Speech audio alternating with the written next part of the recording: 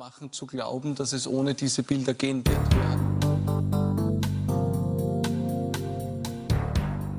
Und Strafrecht ist auch eine Querschnittsmaterie. Also es gibt hier auch sehr viele Berührungspunkte mit dem Innenministerium. Und ich bin mit der Leitung der Expertengruppe, die Vorschläge für eine weitere Verschärfung ausarbeiten soll, betraut.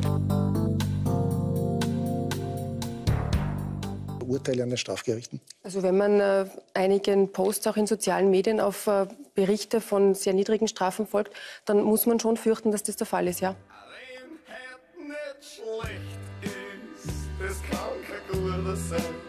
Wer noch nicht gespielt hat, trinkt nur ein Glas allein.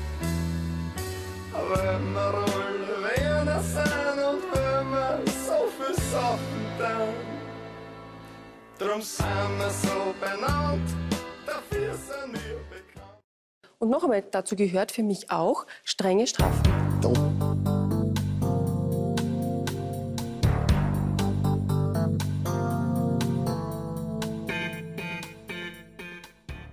Und wie kann es sein? Also, wenn ich Ihnen ein Beispiel geben kann, es ist eine Strafdrohung von ein bis zehn Jahren bei einer Vergewaltigung. Wenn der Täter aber nach einigen Jahren wieder draußen ist aus dem Gefängnis oder vielleicht gar nicht hinein muss, dann ist das Opfer schon ähm, nicht, also dann ist kein Ausgleich im Strafrecht geschaffen.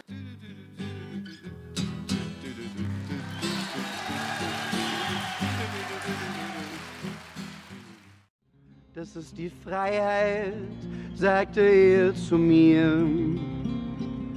Die gibt es heute so selten auf der Welt. Drum wird sie hier für wenig Geld zur Schau gestellt. Drum wird sie hier für wenig Geld zur Schau gestellt. Ich sehe ja nichts, sagte ich dem Herrn. Ich sehe ja nichts, der Käfig ist doch leer.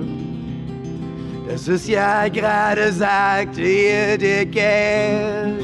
Man sperrt sie ein und augenblicklich ist sie weg. Man sperrt sie ein und augenblicklich ist sie